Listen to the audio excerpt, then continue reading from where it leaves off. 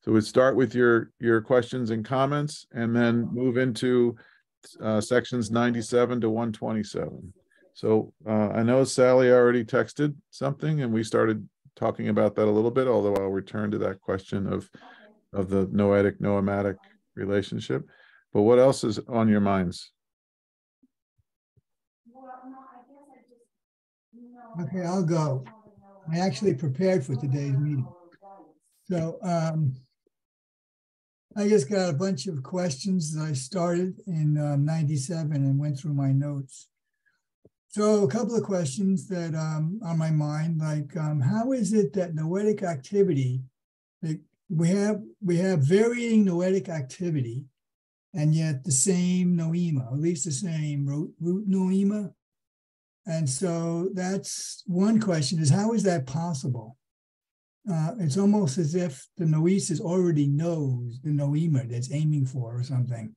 So there's something interesting going on there. I think we need to get a better understanding of what the hyalog, the hyletic are. Um, he doesn't really spend a lot of time talking about that. Um, just a suggestion. Um, now skip that one. Um, characters. Yeah, and starting in section 89, he starts talking about characters, which at first confused me, but um, since he spends most of the rest of this chapter talking about characters, I think I have a better idea of what he means by that. Um, so um, I'm trying to read my own writing, which is difficult, believe me. Um, how do we track the main? So um, I really find, I found, when we say the sections from 97 on, I found really the most interesting part of the entire book. I know they're not as philosophically deep, but he really is um, getting into the kinds of things that that we can um, that we can actually think about. I mean, that it seems to me that what he's he's getting at in these things are actually sort of a preparation for ideas too, because um, he's talking about actual applications. I don't know. I don't know if that's the right word, um, but he has this idea that um, again, I'm just going to skip my notes.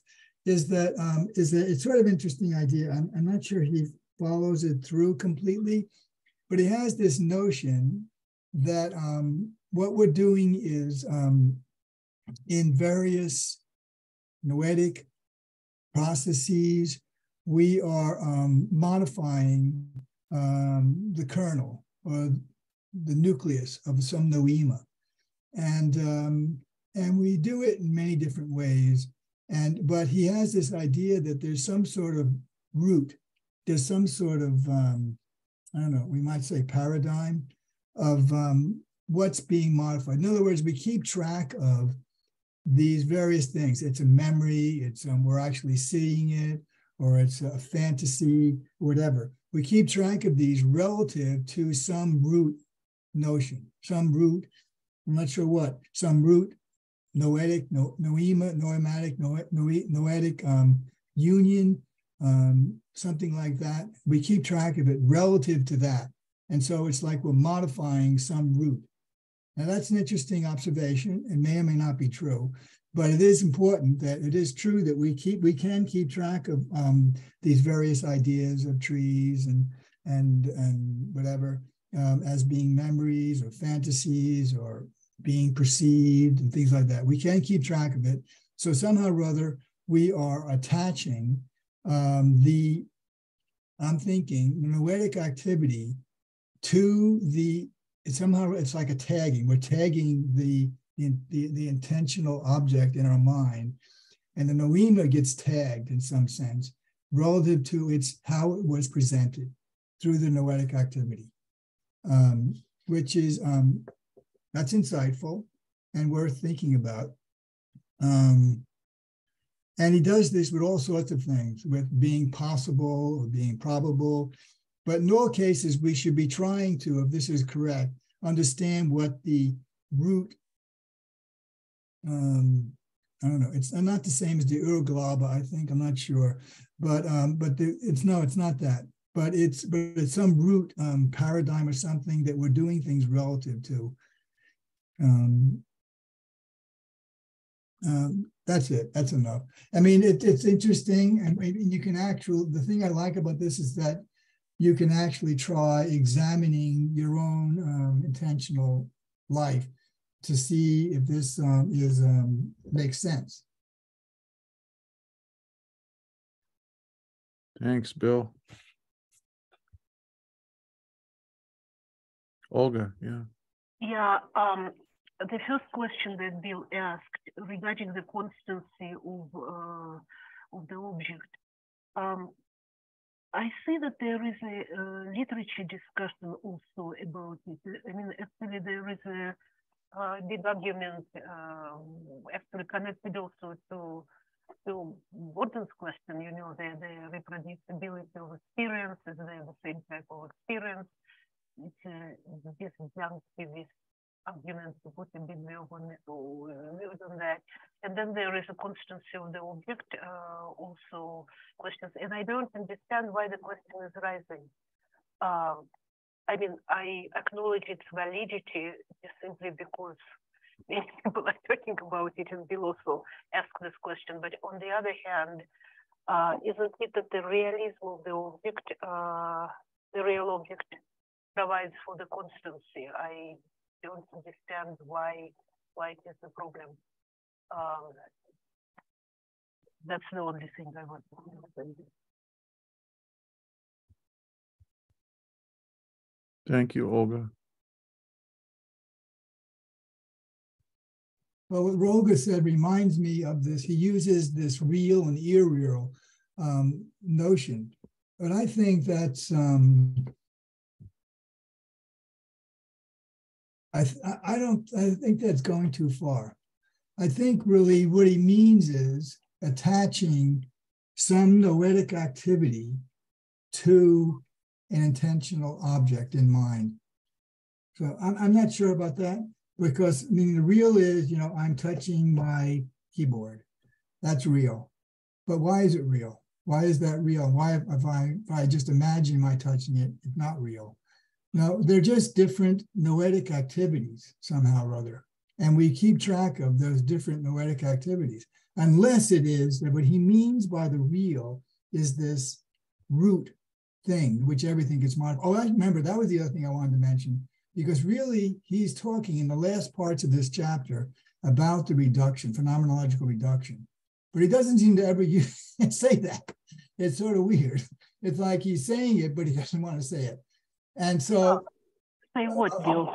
You finish, Olga, and I, and you can go. This won't take long. So the thing is that it's like, um, so that comes back to this notion because neutralization, which is going to spend a lot of time talking about in the latter part of this chapter, is it seems to me should be a root activity, a base activity, because you're not adding anything.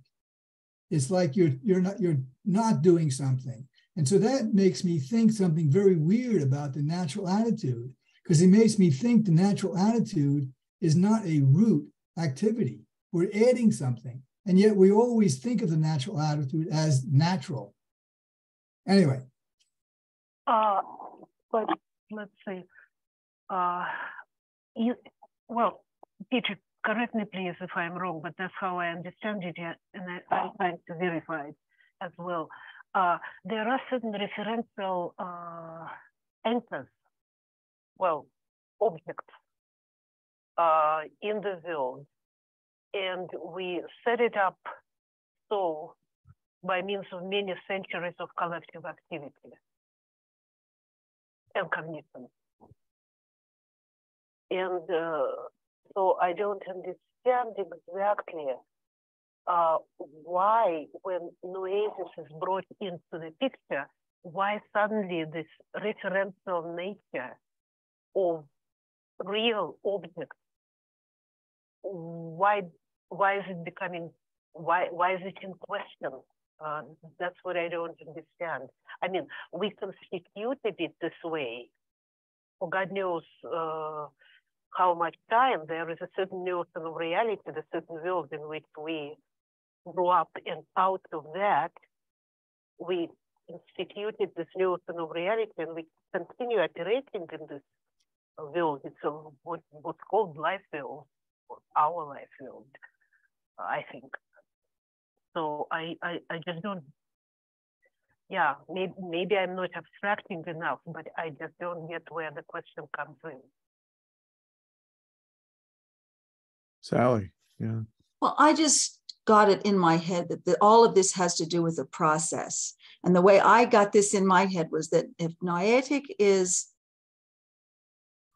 the subject and the noema is the object, and then the noesis is where meaning takes place. I mean, I interpreted that noesis is a kind of um, a, a, a post experience or even during the experience reflection on the meaning of it to you. And that's where the sort of subjectivity comes into it. And then I got the hyletic, that's that's irreal, meaning yes, you can see uh I don't know, a tree at night, and you know that in fact a tree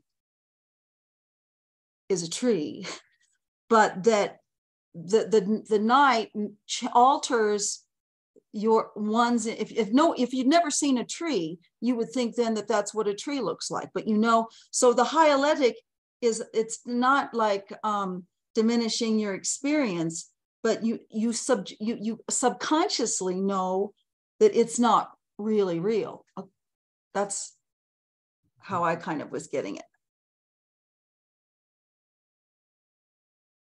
Any other um thoughts or questions before Gordon? Yeah.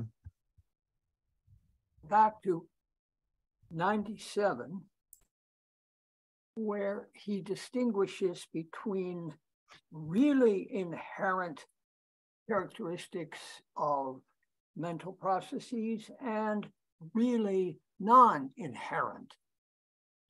So now we've got real and not real, which is a bit of a task all by itself to figure out. And he allows the noetic to be, quote, really inherent features or characteristics of mental processes. So it's a subcategory of mental process, namely those that are really inherent. And that, he says, is what noeses are, really inherent. Now, I don't know what the hell really inherent means because to the best of my knowledge, he never defined really and not really anywhere, but it's clear to him. Whereas the noematic are really, so they're just as real, but they're non-inherent. Now I I say, oh, okay, that means that the noetic is what we would today call the cognitive, the downstream, the work pardon me for bringing the brain into the picture, the work that the brain is doing going downstream in modulating the input. And the noematic is the work we do on the input. And that makes an enormous amount of sense to me.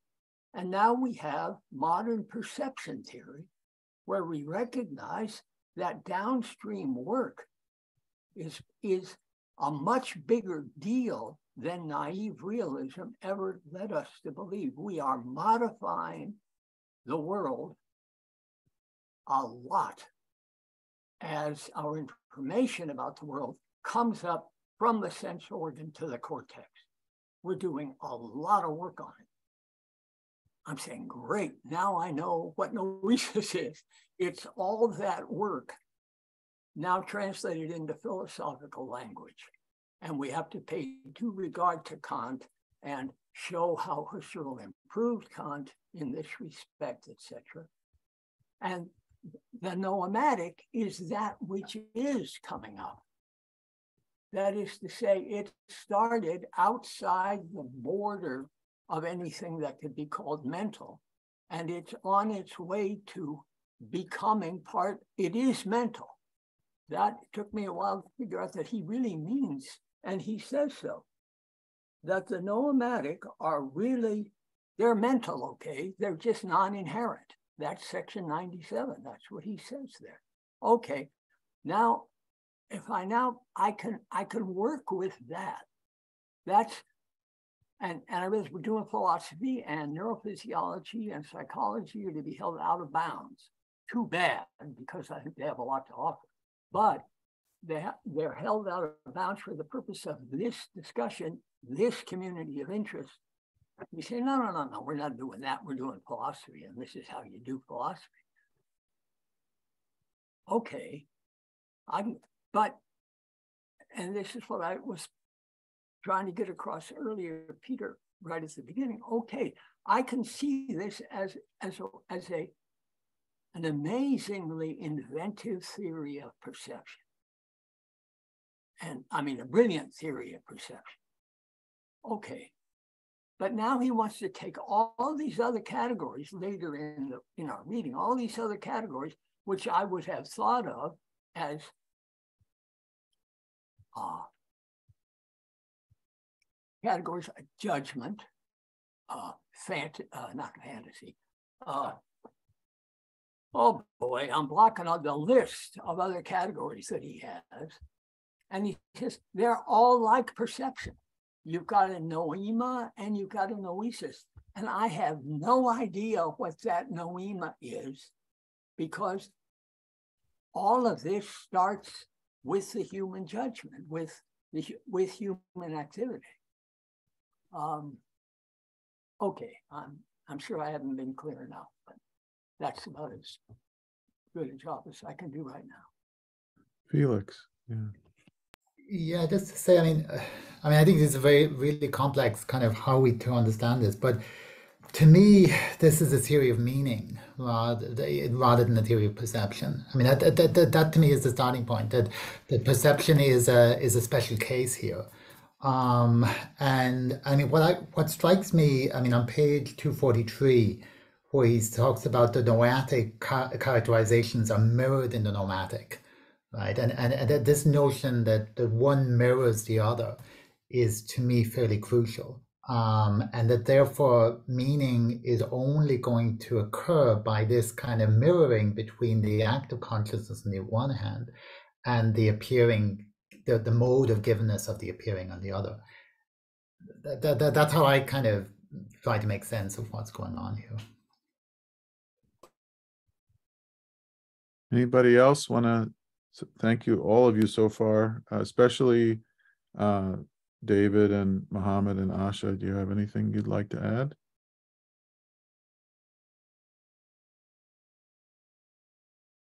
Or anyone else? All right, is it okay to to for me to start um reading? Is that all right for you? So I will say this, um, do ninety, we'll do sections ninety-seven to one twenty-seven. I'll do probably ten sections or twelve, and then we'll break a little bit and then, um, to, to talk, and then we'll, we'll continue. If, I was planning on breaking it at the end of one twelve. So if that's not, you know, if, if you're upset before then, just, you know, flag me down and we'll, and we'll break. But- And then we'll Peter, do, you're muted. Hmm, I'm not muted. Can everyone hear me but Bill? You're muted, Bill. Um, but I don't know. Can you, you, Bill, you still can't hear me? Well, um, I would, I might suggest disconnecting. Uh, let me put that into chat for Bill.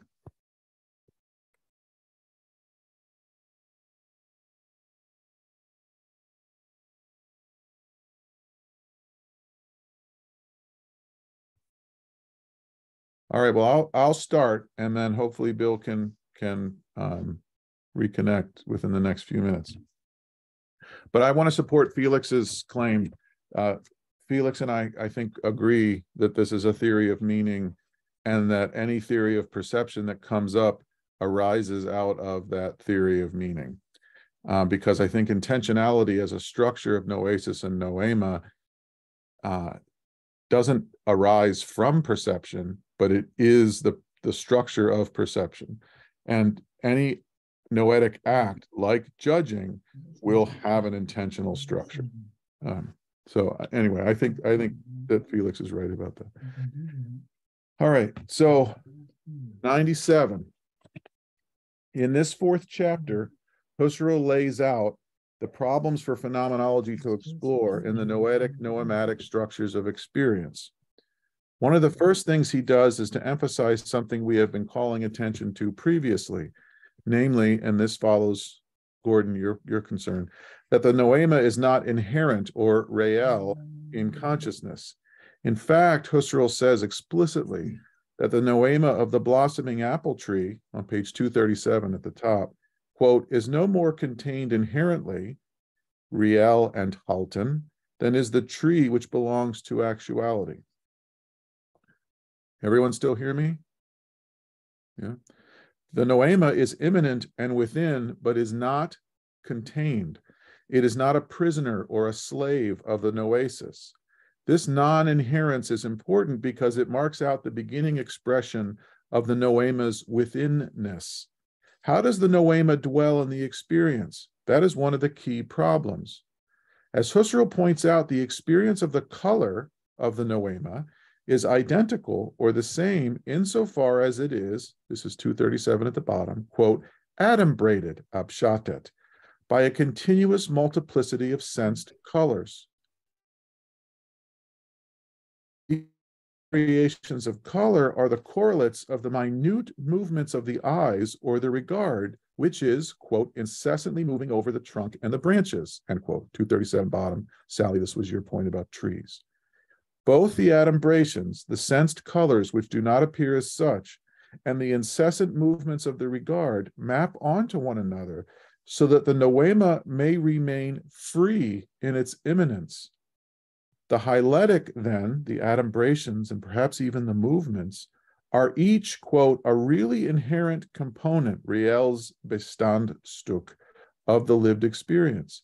And these real inherences set up and make possible the relative freedom of the experience of the whole color and of the whole noematic structure.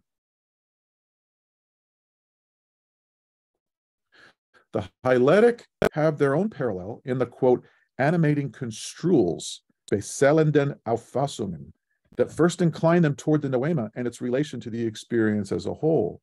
Without the ensouling, animating, ensouling, beseelenden, that the construals do, the act of construing. The data would not strive toward a unitary color, but this ensouling is not really my doing as an ego. Instead, these are the noetic acts that are not actional, not reflected upon. These construals, and they, along with the hyletic data, the adumbrations, together are inherent.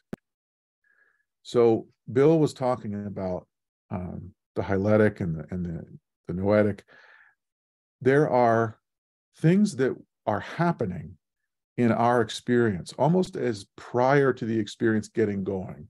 Before we can see the tree as brown, there are um, color variations and regard moments of my eyes passing over the trunk and an animating presence of my subjectivity, let's say, to the data but neither the brown, black, white alternations, we might say the pixels of the tree, neither the data nor the very basic pre-subjective animating that I bring to them, those things are not experienced by me. What I experience is the trunk of the tree as brown. So what he's saying is what is really inherent are these things that are not already divided between Noema and me. Um, so anyway, just try remember that there's there's a sense in which experience begins in acts and showings that are not themselves experienced unless we were to step outside of the experience of the tree and notice things abstractly with their interrelationship of the hyletic data and the animating construals also is, this is on page 238, quote, the appearing, erscheinen, of the color. So the appearing as such, the event or the happening of the blossoming apple tree in its pink blossoms, green leaves, and brown trunk, this eventfulness, the appearing act of appearing, is also inherent in the experience. Its happening is not intentional. We don't we don't will the appearing of the tree into existence. Hence, all the attempts to get at the eventfulness of the event in phenomenology. So after Husserl, right, everybody, Heidegger, all these people are trying to get at the appearing of the appearing, the eventfulness of the event. Why is that? Because it's certainly part of the experience, but we can't catch ourselves doing it. So Husserl goes so far to say in this section, it is precisely the interaction between the hyletic data and the construing, the fact of the appearing as inherent that explains how the transcendental experience of meaning as immanent can come to be at all. Quote, this is 239 in the middle. The characterization of the phenomenological reduction and of the pure sphere of lived experiences as transcendental rests precisely on the fact that we discover in this reduction an absolute sphere of stuffs and noetic forms whose determinately structured combinations possess the marvelous, wunderbare, consciousness of something fundamentally other, prinzipiell anderes, non really inherent, transcendent. Why talk about hyletic data and animating construals if we're not conscious of them, if they are not part of our self conscious awareness of the experience? we focus on them because they're being structured together within the appearing of appearing, in the appearing of the trunk as brown, right? That's what makes it possible for the noema to be non really inherent, for there to be transcendent meaning within consciousness that is free, remains pointing outside of us, and yet is within us. The hyletic cannot come into view. The animating construals cannot be reflectively engaged. This is what allows the transcendent immanence of the noema. Furthermore, this is what allows the transcendental not only to appear, but to serve as the quote primal source, Urquelle, 239 in the middle, for the experience of objects as such. And maybe, Bill, that's what you were looking for when you said ur. Um, the source cannot be seen to be my doing if it is to involve me within givenness. Another way to say this, perhaps, is that the trace of givenness is in the inherence of the components that are not viewable by me, but are combining themselves already rigorously, methodically, without my consent or action. With this structure of a certain kind of, we might say, Gordon, subconsciousness, Husserl says perception is a more intimate affair. It is not, quote, an empty presentive having of the object, 240 top. Rather, perception as my act is claimed as if relating to a beloved or a child. This is on 240 at the top. Quote, it belongs, gehört, to the essence proper of perception to have its object. And its is in quotes for Husserl, and it's ihren Gegenstand. So its object. Why is its in quotes? I think perhaps to emphasize this intimacy. Perception is not indifferent to an indifferent object. Perception has its object, and its object, to go back to Felix's point about the mirroring, has precisely its act. Now I'm going to go to section 98. Reflection then can look at the experience as such, at its parts like hyletic data and animating construals, or it can look at the experience as directed to the noema, which is immanent and not inherent. In either case, there is a parallel structure that needs to be developed through two kinds of interconnected expressions. And uh, this is one of the things that I think Felix had in mind. Quote, 242, a parallelism between noesis and noema is indeed the case, but it is such that one must describe the formations on both sides and in their essentially mutual correspondence. What's important to note about this parallelism is that the noetic does not rule. The functional role of the animating construals And the constitutive role of the noesis, as Husserl says in the middle of page 242, never, quote, shows, zeigt, an identity where an identity of the object is given in the noematic correlate. In other words, the noetic acts do not appear as unified, the construals and the constitutive. We do not piece together the wholeness of the tree's color or see ourselves carving out its outline or, or its surface. The identity is the product of the interrelationship, where, if it must be said, the noema has a greater role. Yet even the noema in its givenness as a whole does not achieve the unity of the noetic with its functional, i.e., passive parts. So remember, phenomenology has to describe the noetic part of the experience, the noematic part of the experience, and their correspondence. It's like if you really want to get a handle on a relationship, if you're a psychologist, you have to talk to one person about the experience, you have to talk to the other person involved in the relationship about the experience, and you have to see them together and think about the relationship as a whole. You can't just go back and forth from one to the other. That's what's happening here.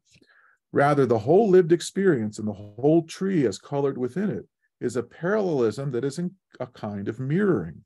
The noetic multiplicity of kinds of acts, perception, memory, fantasy, valuing, and of animating construals are, quote, mirrored, spiegeln sich, or literally mirror themselves in the noematic ones. This is 243 in the middle where Felix was talking. A parallelism that has a kind of internal relation. What we are looking for, our orientation, allows the noema to appear in multiple ways with these or those characteristics or predicates. And something about the parallelism is what unifies not just the noetic together and not just the noematic together, but the noetic in the noematic and vice versa. The unity, therefore, of consciousness is marvelous. I don't know if you remember this commercial with a woman walking down the street eating from a jar of peanut butter and a man walking down the street eating a chocolate bar, and they bump into one another and they say, Hey, your peanut butter got in my chocolate. Hey, your chocolate got in my peanut butter. And they both eat it, and then Reese's is born, right? And so they fall in love and everything. Think about that when you think about noesis and noema. It, the point is the conjunction. The point is the mirroring. And in the mirroring, something else is born, right? What's born is the noematic uh, independence from the noesis. I think, in other words, the transcendence that we make sense of, the meaning of transcendence, is born in these mirroring parallel structures of things that are intimately connected with one another, as if behind our backs, previous to our noting of the tree is brown. Section 99.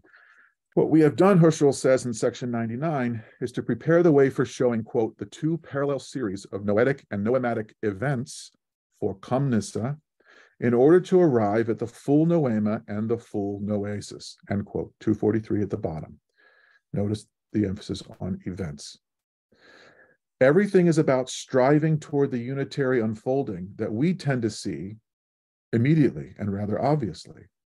There are multiple events, however, within the event of the unfolding of this experience of the tree or even this paper, etc. This means that the shifts in viewing or intention from originary perception to memorial contemplation locate different characteristics in the noema. There is a mapping that sustains the noetic movement. The noetic does not create a filter, it rather shines a light on the different ways in which the tree means what it appears as.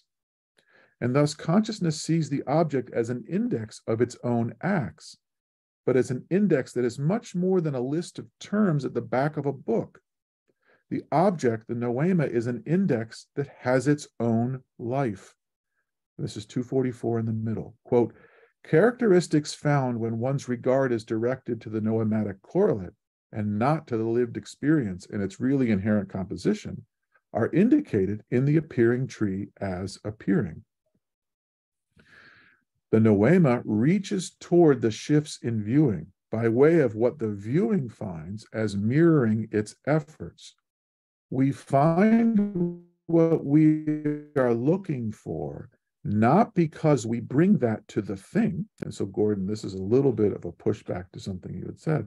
We find what we are looking for because the thing appears in that very way. The tree is beautiful not because we look on it with beauty, but because our active valuing finds a foothold in the form of the tree and it shows us that side of itself in the blossoming forth. Is section 100. There are, and the, Sally, this is where I think your initial question to the group is really helpful because I think the noetic is the subjective, but the noematic has a kind of active agency here. And I think it's in this section that he's going to begin to show that. So there are, quote, intentionalities, this is 246 at the top, in the noesis and the noema. And I take that to mean that the noema is intending us, that it has an active role. Now, that could be wrong, but I'm going to continue that until somebody proves me wrong. And these are together in a certain manner, namely in their being, quote, 246 at the top, hierarchically built up on one another, or rather in a unique way, encased in one another, in ein ander Schachteln. The unity of the noetic and the noematic as parallel series evince the same ge geological metaphor of encasement. They match each other level for level, and thus we have a hard time separating them. The main idea to focus on, I think, is that the noema offers to the noetic the side of itself that fulfills the noetic striving. And the noetic striving offers to the noematic the very chance to appear, to show itself. Husserl's example on the bottom of 246 of hearing a name and being reminded of a time within the Dresden Gallery is instructive. Perhaps we are on a trip to Dresden and we see the newspaper we are reading, the Dresden Times, and we think of the last time we are in the gallery. We remember walking in the gallery and standing before a picture by Teniers of a picture gallery. And we see the pictures in that painting as also named, having names like little signs above the pictures. We have experiences within experiences, of experiences being conjoined in both language and straightforward perception. Encased in the name Dresden is the memory of the gallery. Encased in the memory of the gallery is the experience of the picture encased in the picture is the experience of being related to the other pictures that it depicts. Something in the noematic organizes the noetic. Something in the noetic organizes the noematic. You got your chocolate and my peanut butter, right? We are linked by virtue of Dresden, the word Dresden, to the gallery. We are linked by the virtue of shifting from reading to remembering to the painting by Teniers. The objects are encased as a response to the encasement of the noetic acts reading, remembering, encasing. Section 101. To continue on how the noema reflects what we are looking for, Husserl says in section 101 that, quote, to every noematic level there belongs, gehört, a characteristic, Bill's point, appropriate to that level, Stufen characteristic as a kind of index with which each thing characterized manifests itself, sich bekundet, as belonging to its level.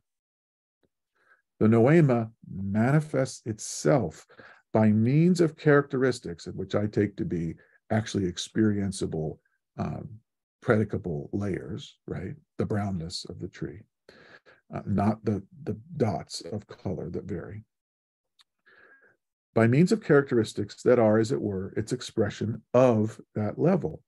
The appearing of the characteristic is the index of noema in its condensation at that point as an appropriate emergence or stopping point for the particular noetic act that it calls for.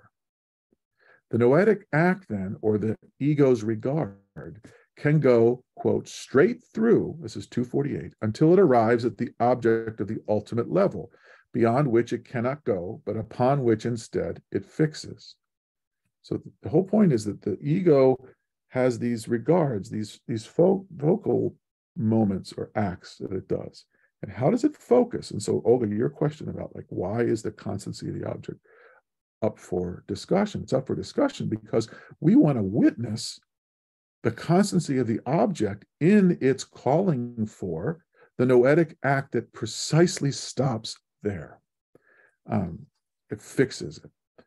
its wandering, the, the regard, moves to fix what it aims at. Its wandering is determined by the call from the appropriate level of the noema. It is a call. Quote, it is rather directed to the data, Gegebenheiten, to the givennesses of that level upon which it fixes. This is 248.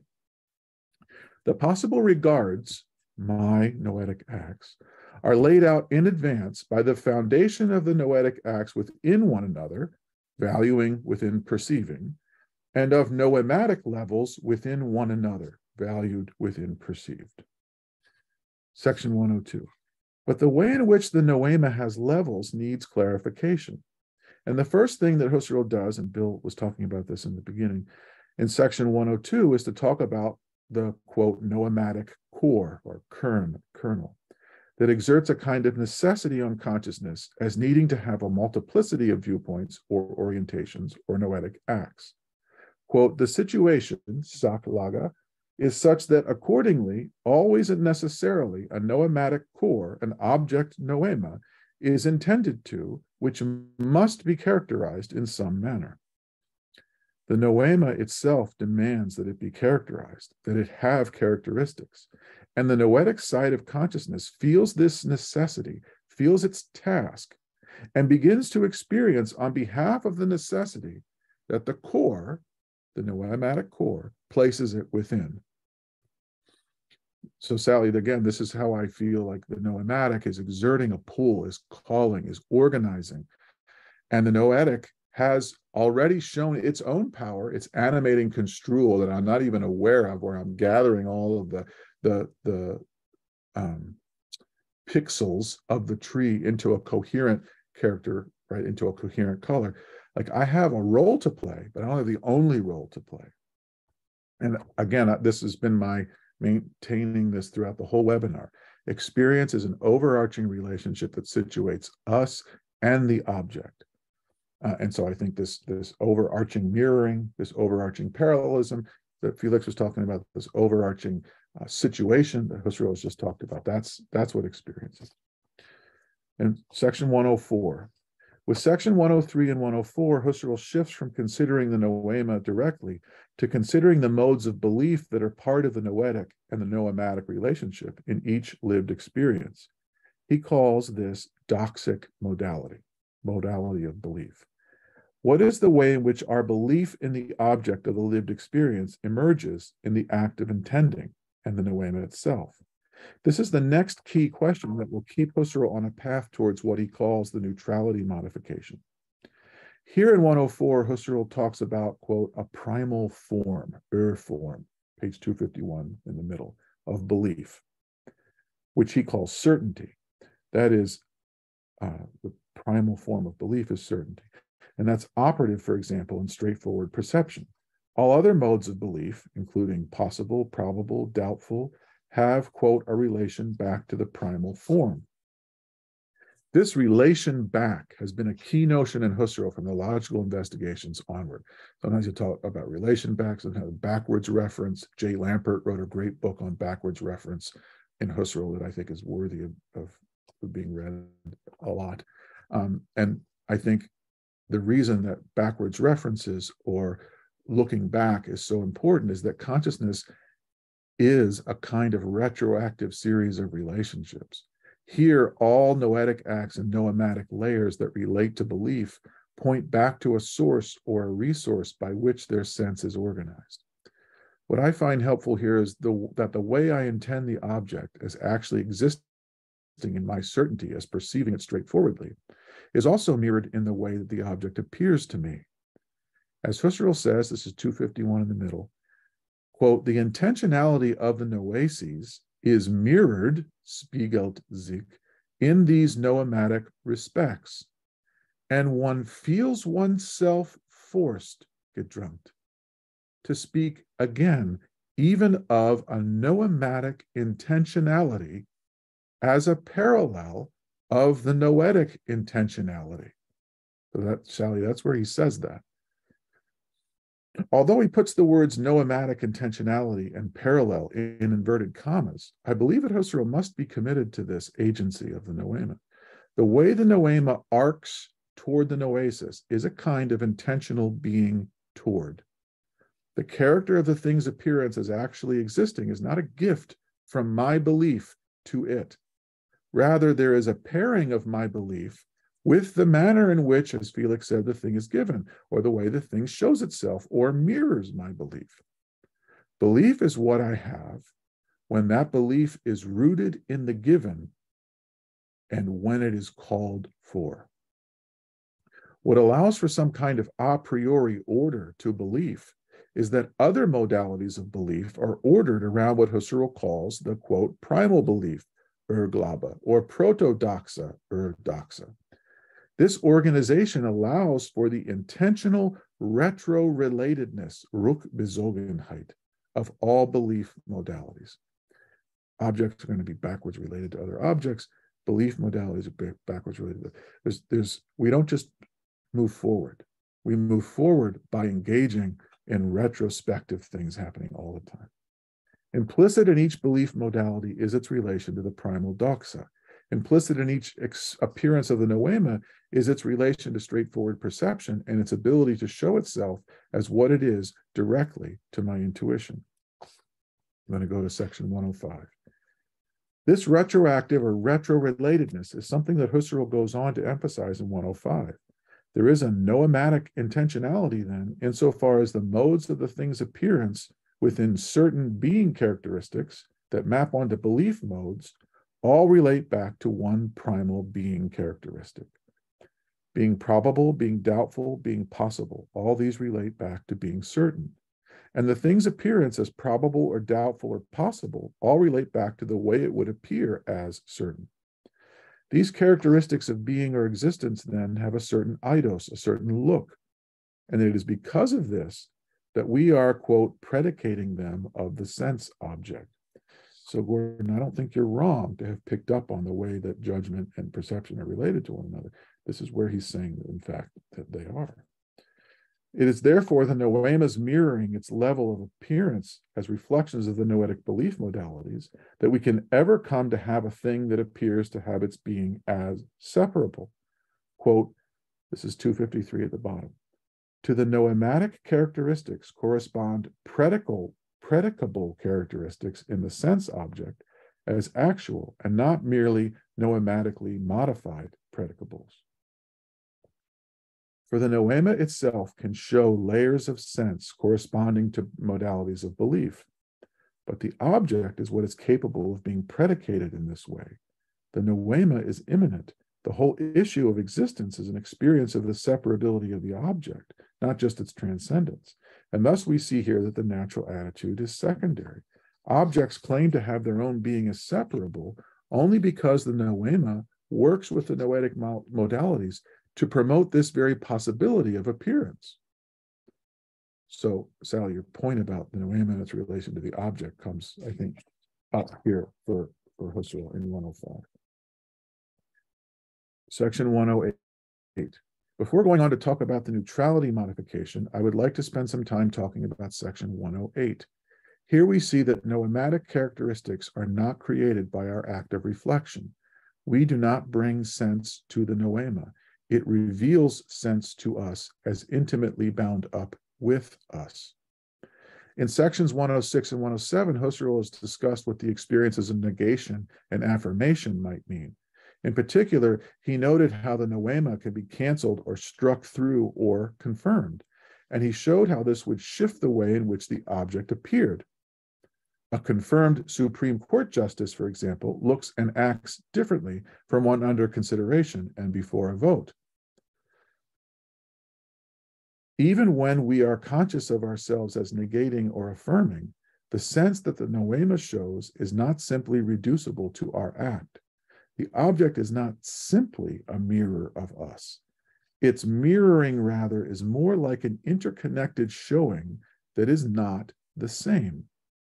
Quote, non being is obviously only equivalent to and not identical with being validly negated. This is 257 at the top. Husserl uses an example looking into a stereoscope and seeing a pyramid. Stereoscopes are like those um, viewfinders or the um, those things that kids look at with the little I don't remember what they're called anymore. I used to have one, but um, they're old time things where you, you look through. Um, and seeing a pyramid and seeing it as a nothing or a semblance. In that sense, he says, we are simply saying, quote, what we find present in it itself as a characteristic, precisely nullity. It is the phenomenon, he says, that has the agency. Our task is to describe, quote, this is 257, the phenomenon precisely as it presents itself rather than interpreting it away. In line with his stress on faithful description, Husserl here at the end of section 108 requires that we have courage and honesty. There is something ethical in phenomenology that it seems to center in humility as being involved with experience as such, situating us within itself. 109. So I think I'm going to do 109, 111, and then we'll break for discussion. So in section 109, Husserl introduces a rather important and new kind of modification of belief, which he calls neutralization. This species of belief modality has some internal links with the epoche and the parenthesizing associated with the reduction. But the reduction is explicit, voluntary, and aimed at the essence of intentionality as such. That is, the reduction is an act of freedom that puts out of play the general thesis and of all correlates and world it is only one way in which to modalize neutralization, as far as I understand it. Here, however, Husserl is talking about deploying neutralization within the lived experience of something, without also necessarily speaking of the reduction or even of a voluntary act. It could be a non actional or passive way of deploying an abstention or indecision. Instead of focusing on the voluntary, Husserl now speaks of an intentionality that is neither voluntary nor involuntary. The experience is closer to that of the thing within the painting that is painted, while not focusing on the frame, the brushstrokes, the dimensions of the image as such. The being referred to the thing depicted is what might not occupy us. And so instead of that, we pay attention to what is referred. In the painting of my friend, I see my friend. I do not see the painting of him. I do not see the brushstrokes. I do not see the frame. I do not see the wall, right? I am neutralizing tons of stuff in order to see the frame. In such a neutralization, I let the painting as painting be undecided, and thus am perceiving the painting, this is page 258, as a quote, certain having something standing there, which is not actually intended to as standing there. The posited characteristic, in this case, the, the existence of the painting as painting, has become powerless, kraftlos.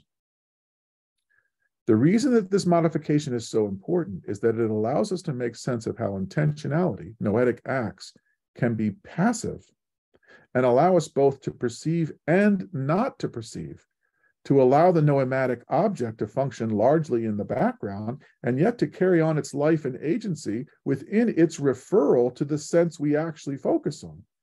Like if there were no painting, I would have no experience of my friend. Right? That's the neutrality modification is quite cool because if we couldn't focus on the painting to see the friend.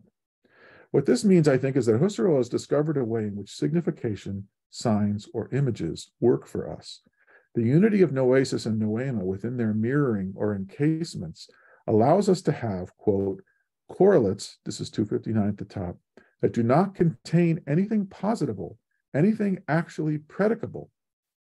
If somebody interrupts me while I'm seeing my friend in the painting and perhaps thinking about her or him, they're like, you know, you're looking at a painting, right, Peter? Uh, yeah, that, I, I knew that. I knew that all along. Of course, I wasn't focusing on it. If they interrupt me, I no longer have the experience of the friend in the same way.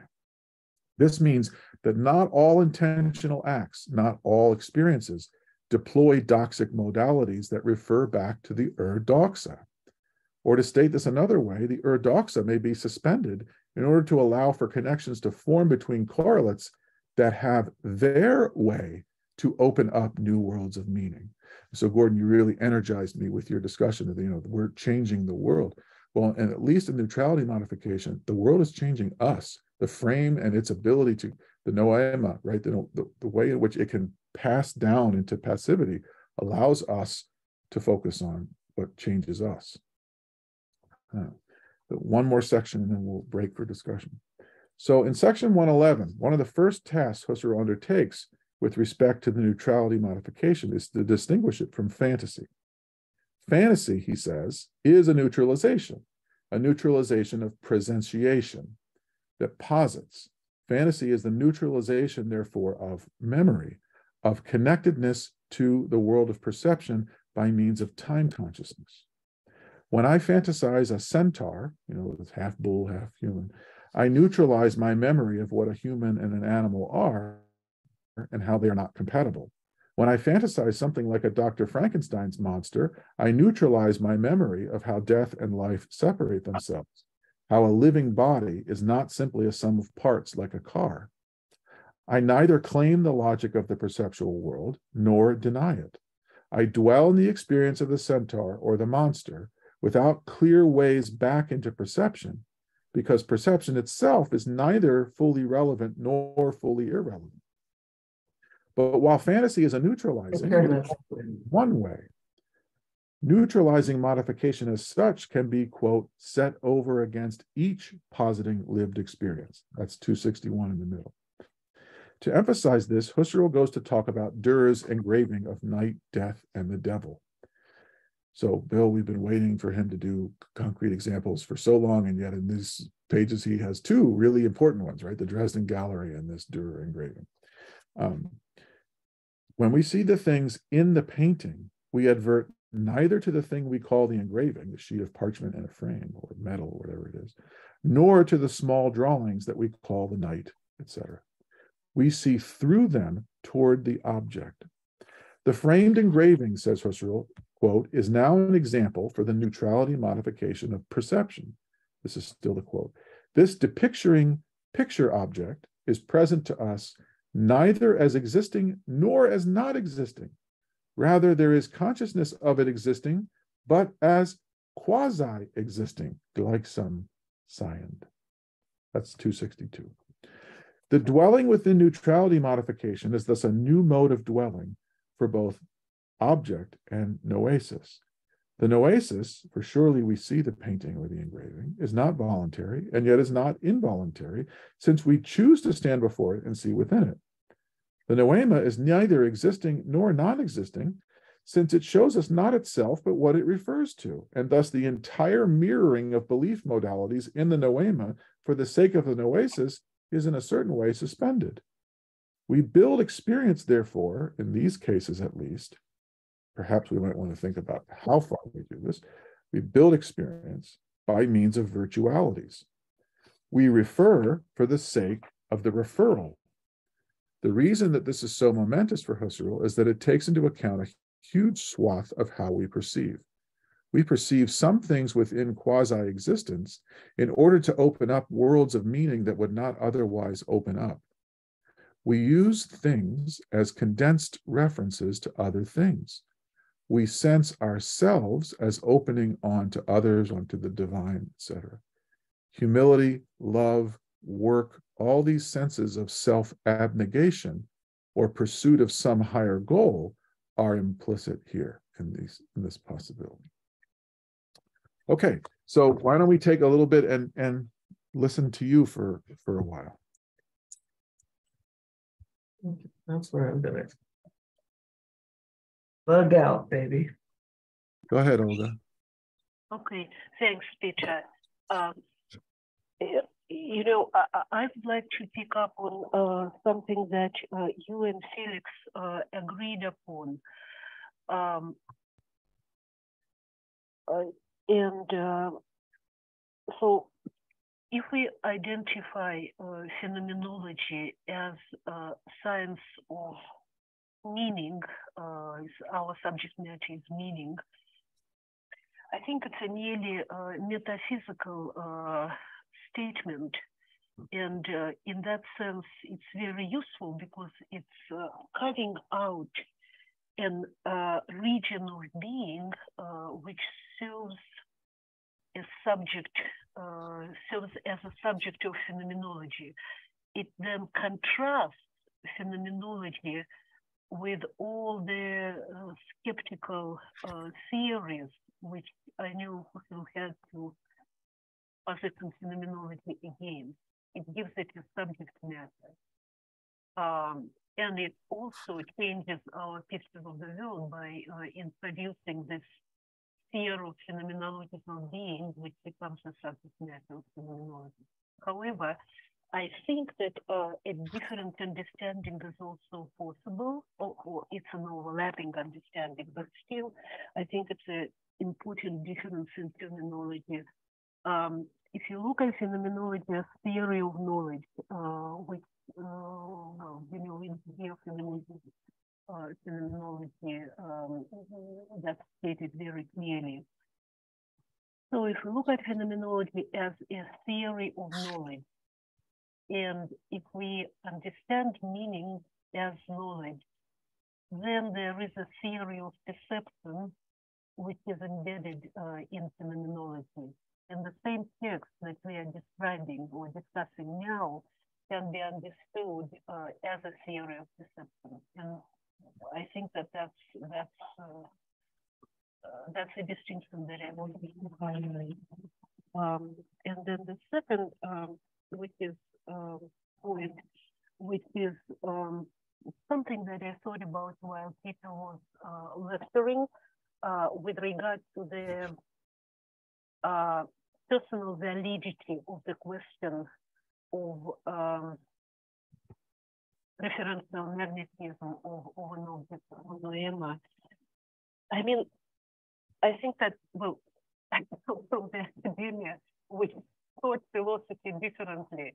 We didn't study skepticism that much, but we studied uh, Marx, Hegel, and Feuerbach. And when you come from this set of suppositions that this philosophy uh, kind of envisage in you, I think that the reading of Husserl is then uh, different. And then maybe, you know, the questions which are uh, so informed by, by uh, reading post-Cartesian skepticism, they, they, they are not as upfront uh, with this kind of philosophical background. So I just wanted to bring this up. Thank you. Yeah. Other thoughts? Yeah, I I uh, I appreciated this a whole lot, Peter. Thank you. The uh, and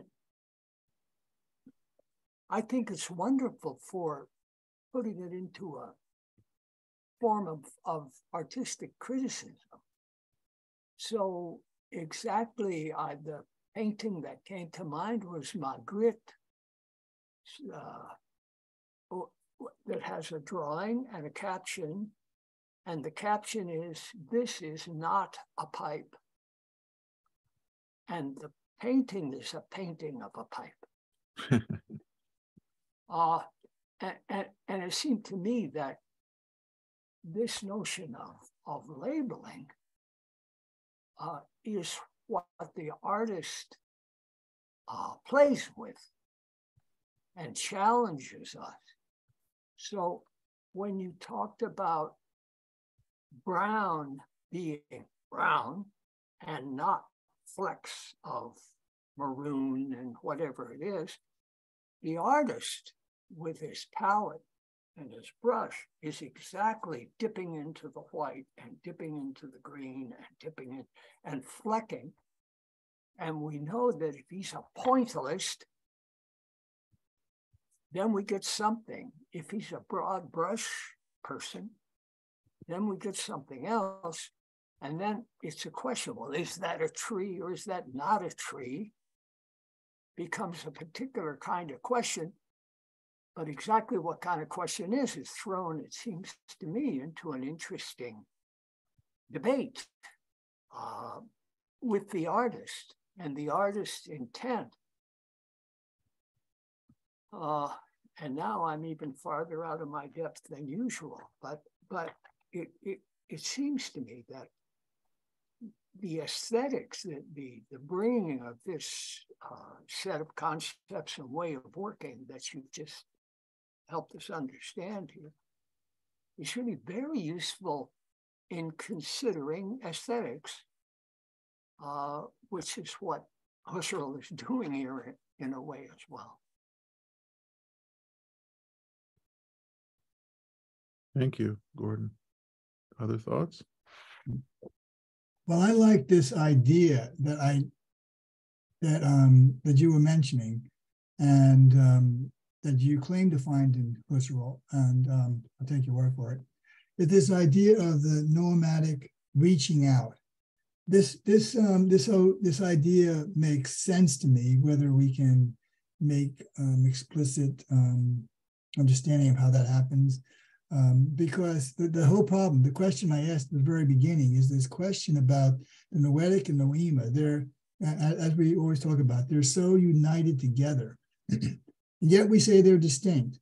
Um, that somehow or other, how and how we have, we're just starting to talk about these various things like, um, you know, in my notes, I was talking about snowing and how there's some, uh, I have some pure notion of noema, of snowing, but then I can attach all sorts of things to it, like pure, is it possibly snowing or it could be snowing or um, something like that.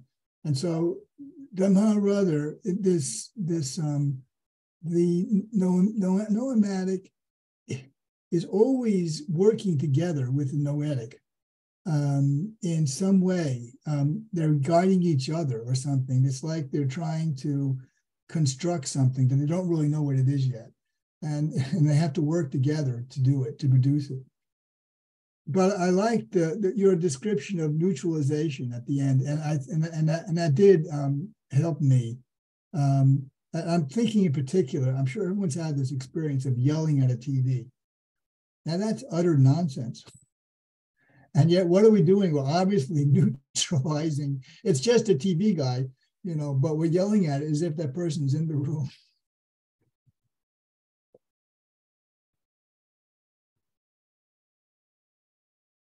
Thank you. Olga, yeah, I see. Yeah, I have a question. Uh, why uh, why are we given uh, freedom uh, in this particular way?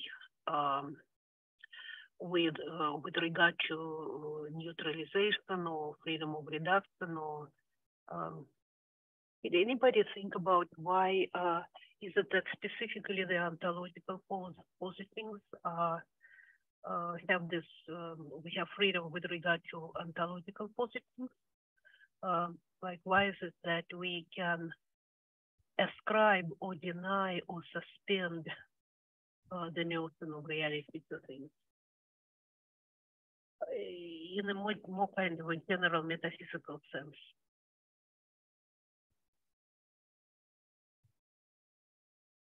I don't know what you mean by why. I think the better question is how. Well, either how or or why, yeah. But yeah, I understand. I understand your correction. I accept it. But um, the essence of question is uh, still stays the same. You know, um, it's understandable. I mean, we can we can uh, describe and uh, and uh, understand how uh, the pool of uh, of the object, the pool of noema, the pool of environment, the pool of the world incites uh, consciousness so, and becomes one with consciousness. You know, you can speculate about it on many different levels, you know, scientifically and phenomenologically and metaphysically, you, say. But uh, but how did it come about that um, we have a freedom uh, of positing? Yeah. Yeah, that's a tremendous question. And, and that's one that keeps us lurking in the background here is this whole notion of like a transcendental ego or something that somehow or other guiding all this or whatever. I don't know, this freedom just completely mysterious. It, it is, it, it, I, I don't even know what to say. it's just, just weird. Well, yeah, no, I can, I can, um, I can deny the world or suspend the world and die from hunger. for some unclear reason, uh, I am free to do that, right? And people did. Uh, so, uh, so yeah, so how? I mean, I, I think that, that, that, that's just the correlate. The, the freedom that I have to suspend or to neutralize or to follow up, to modify is just the correlate of the experience transcendence, the sense of transcendence of the thing. The thing maintains its freedom within my consciousness. That's why it's consciousness of. Um, the of is the is the hinge, as it were, of the thing's freedom within my sense of its sense. And so if we are mirrored all the way down, then my freedom is just that which is engaged by the non-inherent withinness of the thing. Well, do you mind if I play devil's advocate in an object? Mhm. Yeah, okay. So uh, if one tries to inhibit uh, depositing, like let's say in the practice of samadhi, uh, there are, according to Indian theory, there are two types of samadhi. One is uh, uh, when one completely suspends the presence of the world, uh, which is nirvikalpa. And the other one, when the world is there, cognitions arise, but they're annulled as not real at the moment of arising. And so there is an argument which goes for centuries whether the first condition, the condition of inhibiting the positing completely so that there is nothing, whether this is possible, or we are fooling ourselves. And in fact, we are not doing that, but we are, you know, fantasizing that we are doing that. But whether it is possible or not possible, that's a question. And so if it's possible to inhibit the cognition this way or intentionality this way, then you are, I think you are right. But if it's not possible and there is a limitation in, in inhibiting intentionality, uh, then then it's uh, you know the freedom is not built into the positing of the object in the I think you sense it you know, I mean, it boils down to experimental, experiential possibilities, and uh, thus it's insoluble question because experiential possibilities are um, somewhat deceptive. You know, that's what I think. Yeah. There, there, should be other other other explanation, you know, not not not just based on given much. I think. Uh, can I, uh, this is really very, very helpful. Thank you. Um, you know, a, a, number of us in this group read uh, Michael Barber's book together, Religion and Humor as Emancipating Provinces of Meaning. And I was grateful to Felix and, and Peter emphasizing the importance of what we're doing is doing meaning. And Barber now following Schutz categorizes provinces of meaning. And I, that was very valuable for us. And I'm wondering if the notion of provinces of meaning is translatable some way into uh, discussion of different noematic forms uh, so that we and and as Olga said, we can. There's a sense in which we can choose these forms. So when I remember Bill, for example, talking some sessions ago about Marion and the notion of saturation of meaning, saturation of meaning in the form, where the icon, for example, is saturated in some sense. And that has to be a that has to be a, a, a, a statement about Noema. Uh, and and it but it's Marion's Noema, and that is to say, he, he to, to my knowledge anyway, he was the first one to emphasize that point. And if not, then someone else was. And where where is this going on? Is it going on in, in the social world of, of recorded language? Is it going on here? What, where is the locus of the province of meaning? Or is that again a, a fallacy of nominalization? Uh, where because we can label something, we think we have to take it seriously.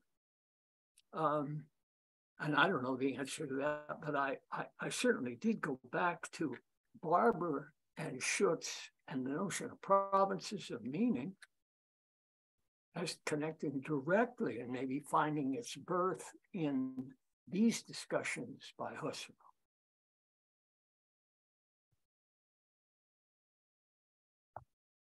Anyone else like to say anything?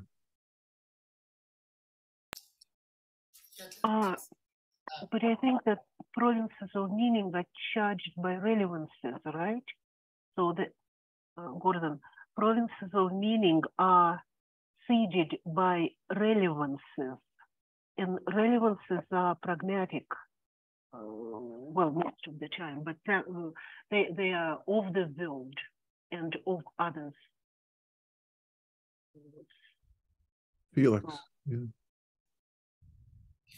Yeah, I mean, I, I'm, I'm just kind of going back a little bit to uh, to Olga's point um, earlier. I mean, I mean, if I, if I understood what, what you were saying, Peter, it, it was we're basically almost got two freedoms here. We've got the the the the, the, freedom of the of the of the object in its appearing and the and the freedom of of the so the, noematic freedom and the and the and the noetic freedom and although that's kind of an odd way of speaking, it's um, I, I I I take it to be that um, what we're, what we're, when we're trying to understand here, we're trying to understand the between space uh, between the, the the appearing and and our consciousness of it.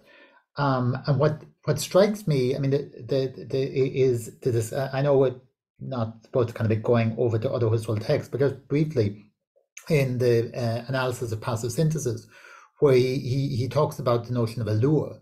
Um, in, and in German it's which you know is, is the word that gets translated as stimulus in, in psychological literature. But but uh, the, the core meaning of it is actually alluring, something that allures me.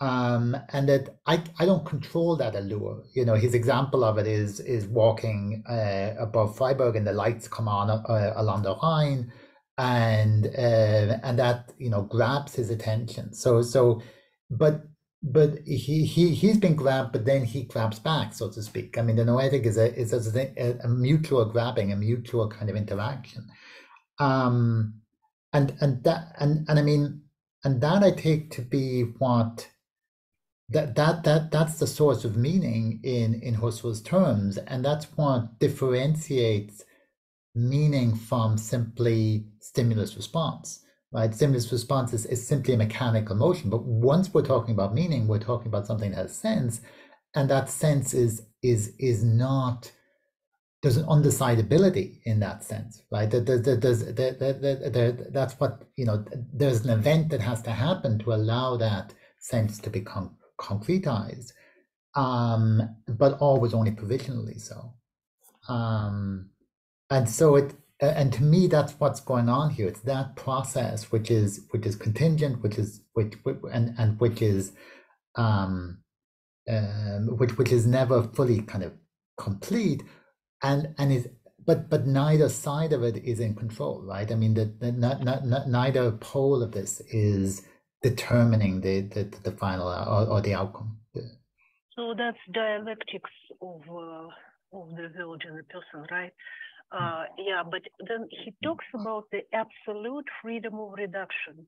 And I was actually trying to reconcile this this innate dialectics of uh, existence, of um, subjective existence, with with uh, with a, claim to uh, to absoluteness uh, in the freedom of reduction. And I think that reduction, this freedom of reduction, has its limit in the dialectics of being. Yeah. It just it cannot put against it. And if we admit that, uh, then we are in the realms of complete determinism, though, you know. So the, that, that annihilates the notion of freedom, if we will be honest with it, don't you think? Uh, I, I'm, I don't see why that follows. I mean, I mean, I mean, it, seems to me that. I, I, uh, let, let, I, I can see, I can put just one more little touch. Hmm. Uh, the world is certain way. Uh, I'll augment the features uh, intentionally to kind of to make the argument more visible. So there is a world, material world, which in which we do have certain degree of freedom of defining the the the objects and structure, but on the other hand, it imposes itself on us. Undeniably, right? So so then, um, if uh, we are uh, sorry, I was so down the road. Yeah, but then the basically that the imposition of the world is so strong, but it takes away my claim to freedom. I, I mean, it's it's it's limited by the way the world imposes itself on, on me, by its crude materiality, by by by the limits of my own biological survivability, you know, by the way uh, the life world is structured uh, around that grossly material influence. Uh, so, so then why the freedom of reduction? I mean, what are the limits of it? but- That's but- what I mean by determinism. Yeah. Right, but I think there's two things going on here, right? I mean, I think that the that the the freedom of reduction is is a freedom to precisely step out of that dialectic. How, Um, how far? th- th- that's always a question, right? And well, he wants to say, right, that, that you know, that, that there can never be a final reduction and so on. But like, but but it but it's a, but it, it it's a it's a step to another level, which I think is the crucial thing, right? I mean, it's it's the level of uh, what he calls showing, you know, of kind of uh, um, viewing uh, thi- this intentional dialectic um, from, from, from a place beyond it, from a place be- above it. Um, that and, and that and, and that's a different degree that's a different realm of freedom than the freedom that that occurs within the intentional relation it seems to me it's a meta freedom it's a it's a Oh, I it's a see what you mean. Okay, Yeah. yeah. Don't Yeah. you think it's just a consolation? it's just a consolation Yeah, yeah, yeah. but but, but what but but to me it's the first it's the step that allows us to get going at all in phenomenology i mean because if we couldn't make that step then we would simply be in the natural attitude we would simply be in that interplay of intentionality you know That's true. Yeah, but yeah, that's true. Mm. Yeah. Thank you. Mhm. I gotta, I gotta have a question. So, um, I still, um, am unhappy, um, or not, um, clear about what the hyletic is. Um, because something that Olga said made me think that, you know, it's the older is, it's like the pure givenness or something, or something that is, um, but the hyletic. So let me just ask this question. So is the hyletic intended to be still a human hyletic? Whatever that is, it's something that we get to play with. We get to massage. We get to get into the tape. We draw it into this dialogue with the noetic and the noema and all these things. Um, but but the hyletic is something which is somehow given in some pure sense. But is it just a human givenness, hyletic? And then the other question I have is this transhumanism. So um, once we get into transhumanism, does that mean the hyletic possibly changes? Um, I don't know. So I just don't quite get the hyletic. I know we have to start somewhere, and that maybe is the isness that, that we can't get beyond whatever it is. But I, I'm I'm not satisfied with the hyletic is. Sally. Well, I just want to say that um, I'm kind of conflicted too about the term because uh, going back to what I was saying, you know, an hour ago, uh, y- you're if you're looking at a tree at night, well, you know that that's not what the tree looks like, but that doesn't diminish the rea- the the the real the reality of that experience.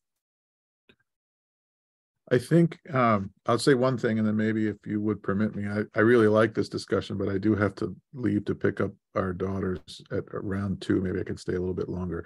So if it would be okay, I'd like to say something in response to to Olga and Bill and Sally, and then continue. Is that is that all right? Although before I do that, uh, David, Mohammed, Karen, or Asha, do you have anything? Because you haven't said anything. I just want to make sure. Okay, so um, just on this last point, Olga brought up the word dialectic, and I don't really know what that means. I mean, I've read Marx, I've read Hegel, I've read Plato, I've read Husserl. I, I have some notion about what it means, but it really stumps me ultimately. Um, so I I do think though that if he says it's an absolute sphere of formless stuffs, right? What he's saying is there is a baseline to whatever we're going to call dialectics. There's a baseline to the, the noetic noematic relationship. And that baseline in consciousness is unformed uh, fields of data that we, you know, have to figure out how we experience that as a as as Gordon was talking about a, a brown surface. So setting a limit to dialectics or setting an origin point, I think is, is an important thing to do. And um, the action that my subjectivity does, animating construal, is likewise not something I'm I'm able to catch myself doing. It's happening before I even get to whether or not I turn my head to see the tree or you know whether the sound irritates me before I, I, I actively listen to it. So I think what this means is that, and it's not going to answer your question, Bill, about human or transhumanism, but um, I cannot get behind this initial relationship between formless stuffs and animating form bringing activity. That's that's what i'm that that's the limit of what phenomenology can talk about and so I, I, it otherwise we wouldn't have intentionality to begin with i think the other thing i've tried to say is that it's precisely this togetherness in a pre-intentional way that makes possible intentionality in this dialectical relationship that felix and olga were talking about um, and and as far as Felix, I think everything you said, I think I would agree with in terms of the freedom. I hadn't thought about it those ways. I do remember two things. Um, Olga, I took your question to be, do we ever get out of intentionality? Are we ever not with an object? And I think that even someone like Meister Eckhart, who would talk about withdrawal in order to leave behind, like we're not out of an intentional relationship with the ground or with God or whatever. It's just that, in other words, we cannot exchange perception for some other modal thing, some other structural thing. We, we can't exchange intuition, intentionality for something else. But what we can do is shift our perceptions. And the, the way we know we can do that is by this global freedom to, as Felix said, sort of go to a meta level of freedom. And I think this bears fruit psychologically. Um, you know, I, I had a friend who recently told me that he felt inadequate with other people and he felt um, caught between people. And I said, look, you really need to do some work on your perception because you're neither inadequate nor caught, but you, your whole situation reinforces this perception for you. You i can't just say you're not caught or you're not inadequate because it it's it, you're gonna you're not gonna see that in your relationships around you. Um, and so we do have to have a certain kind of ability to suspend perception and to suspend what seems obvious in the natural attitude is what we take for granted as being real being certain in order to have a different perception but those different perceptions are not our our will they are by means of doing real work and opening up new relationships and new experiences that may yield to us a different kind of call. And so that sort of psychological work, that sort of work on our on our real personal lives, I think is possible only if we agree that the kind of global freedom or absolute freedom that Felix is talking about, I think Husserl is talking about, is in fact real. Uh, because otherwise there's no there's no hope. We're just caught, as Felix I think said. Like we're we're not we're not alive to the allure of uh, the the other people, the things, the alternative possibilities. But we we're not free to stop having intentionality. We're just free to move from one side of an object or one side of a relationship to another, and then retrospectively to be able to cancel out the previous and inadequate and provisional, one of the words Felix used was provisional, the provisional way in which we had associated ourselves with this particular situation, this particular relationship. Um, but anyway, I, I really like this conversation though, and I do think it gets back to something that um, uh, Fink used to say about the the reduction. Namely, I think he said that there is no um, there's no historical event that can cause the possibility to do the reduction, and that's a question that I've always struggled with because I think that Husserl says something different in the crisis of the European sciences. I think it's the very crisis that he sees in the sciences, particularly with respect to nuclear war, that can motivate us to take on this absolute freedom as a as a way of restructuring um, what we think is obvious. Anyway. How about transhumanism? Uh, Bill brought that up, and we. That, does that mean how animals see the world? I'm not. I'm not actually. It's dialectics and transhumanism are like things that I don't understand. What What did you mean, Bill? You're muted. It's meant that by transhumanism we become non-human, I guess. And so become non-human, then a hyletic might change, uh, etc. And then who knows what can change.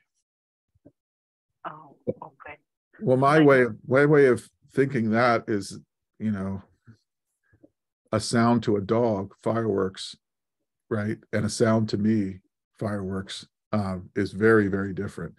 And so the hyletic data for the dog is terrifying and right? And the hyletic data yields something else for me. Um, anyway. All right um, i i feel a little awkward breaking up conversation. I feel like this has been our most fruitful conversation at, a at a break in the in the paper and so i apologize for going on and it really is just my schedule that, that has that necessity um, Asha, yes, I see your hand. Yeah, thanks, Mr. I was uh, listening to that uh, question from Olga and your response also. I mean, it makes me wonder. I mean, uh, the way you explained, uh, I, I, of course, I, I mean, like to go with it. Uh, however, my worry is this. I mean, uh, if I understand your interpretation correctly, then there is no possibility of what Olga called, I mean, taking from Indian philosophy, a kind of pure consciousness without any intentional reference to an object.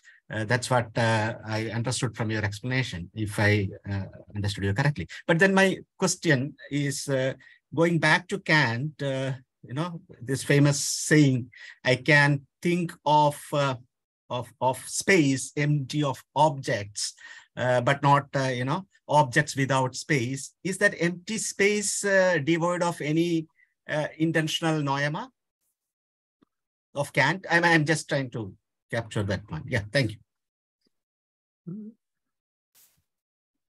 That that's um that's a really good question. Let me just try a basic response that may be very wrong, and and then uh, Olga and Felix and Gordon and everybody else can can correct me and and give you a better answer. I think that um, we don't have to have an intentional relationship with an actual object. Like it is possible for Husserl to focus on intentional lived experiences as the object that we're talking about. That is, we can we can reflect immanently on our lived experience. We could reflect immanently on our lived experience, say the transcendental ego, like Bill said. And in that sense, we don't have a tree or a book or a dog as as our object of experience but we still have a, a noetic noematic correlation. Um, and I guess where I would go to where I would point you is in ideas one where he talks about you know, if there's an annihilation of the world, that doesn't touch consciousness. And I think that that means that the in- structure of intentionality does not actually depend on uh, something other than me providing the transcendence that would generate the, the correlation. But I'll leave that to other people if, if people want to. thanks, thanks. That's a very before I move wonderful uh, starting point. Thank you.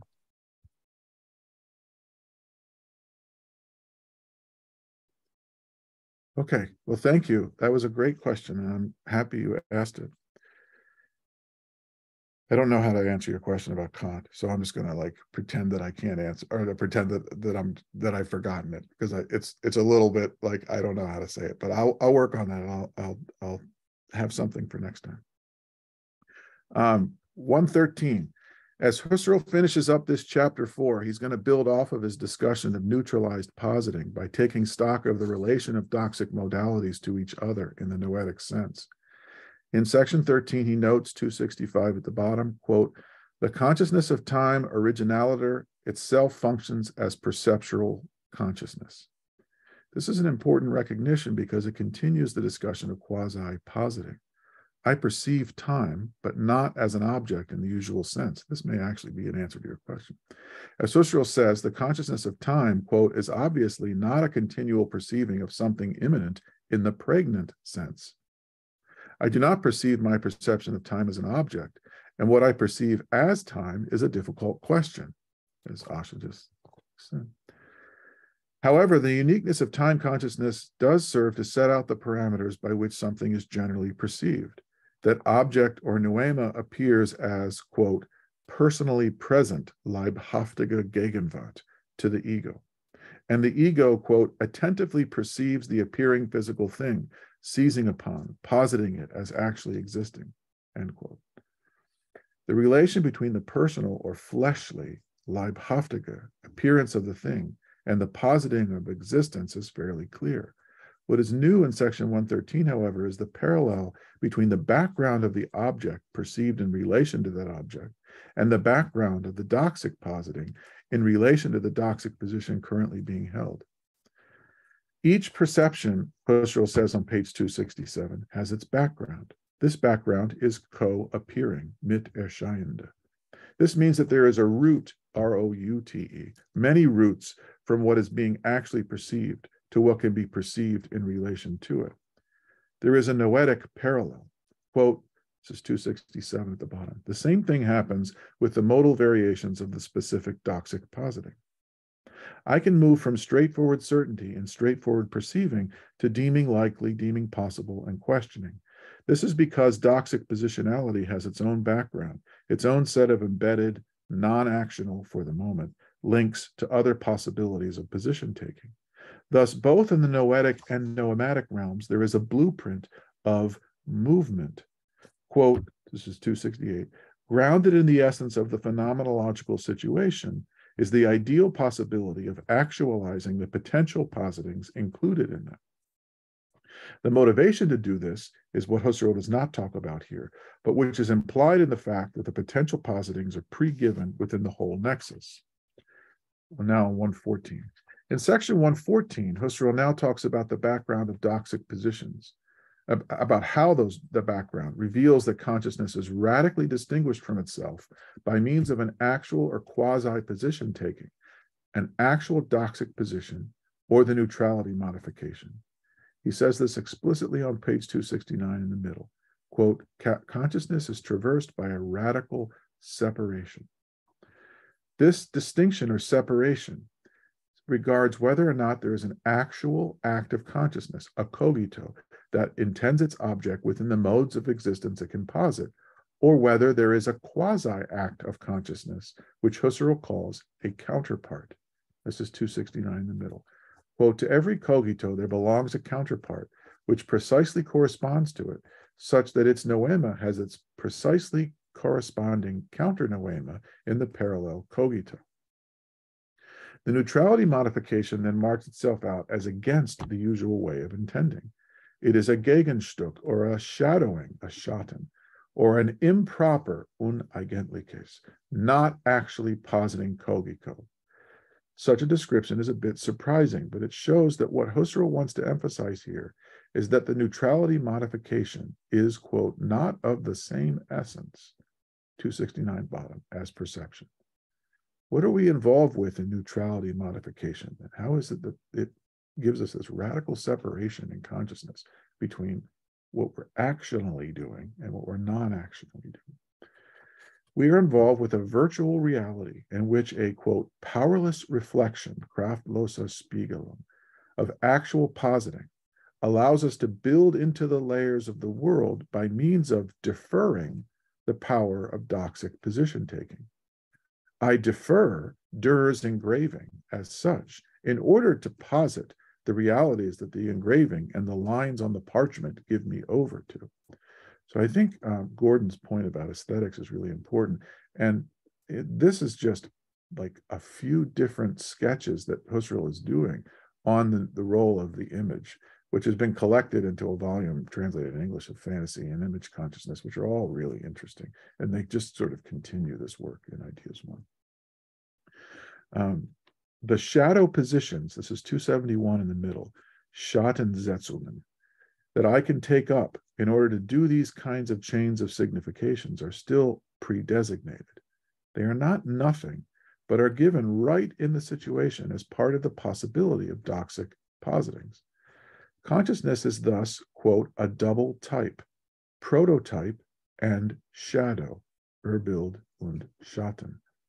I believe that this duality in consciousness, and again, we're talking about the neutrality modification versus a kind of straightforward perception, this duality in consciousness, this powerless participation in noematic recognition, begs to be considered in relation to the Abschattungen that serve as the spread or field of unnoticed hyletic variations or profiles, which themselves, as a continuously organized system of differences, support the unitary perception of a quality or a characteristic. It cannot be only that Husserl has noticed, quote, a universal difference pertaining to consciousness, page 70, 272, but that this difference is fundamental to the combinatory possibilities of acts of consciousness with each other. Quote, there emerge really remarkable and profound eidetic combinations among act, act characteristics of believing and all other kinds of act characteristics. So what we're trying to figure out is why, in, in the sense of Olga's question about, you know, why do we have this absolute freedom?